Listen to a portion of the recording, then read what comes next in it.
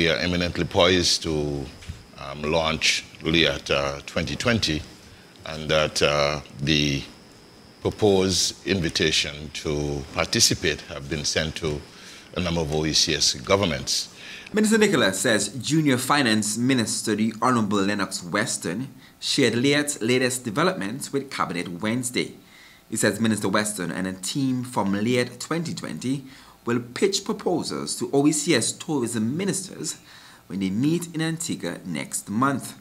Meanwhile, Minister Nicholas says former LIAT workers can still accept the government's 50% severance compassionate offer.